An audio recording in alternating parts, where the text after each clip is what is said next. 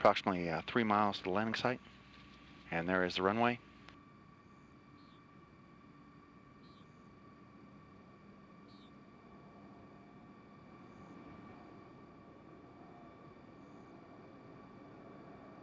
Speed.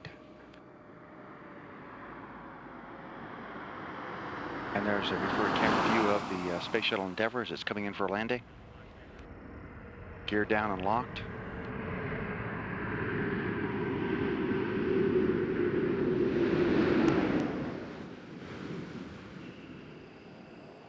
Main gear touchdown. Drag chute deployed by Greg Johnson. Forward gear touchdown.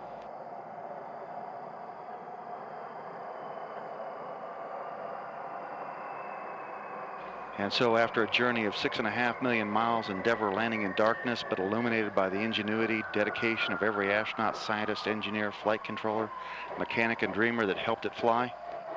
The fleet's youngest ship completing its 122 millionth mile after its crew delivered an instrument to the International Space Station that will sift through the cosmic darkness for years to come.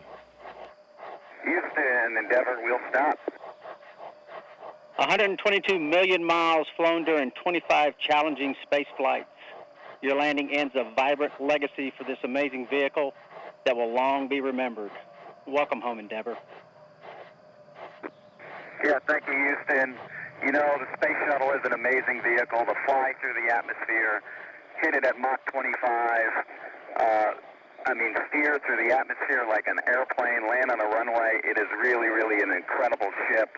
On behalf of my entire crew, I want to thank every person that's worked for to get this mission going and every person that's worked on Endeavour. Um, it's sad to see her land for the last time, uh, but she really has a great legacy. And so the Space Shuttle Endeavour touching down at Kennedy Space Center uh, on time at uh, 1.35 a.m. Central Time, 2.35 a.m. Eastern. Commander Mark Kelly guiding it to a uh, very gentle touchdown on runway 15 at Kennedy Space Center Shuttle Landing Facility.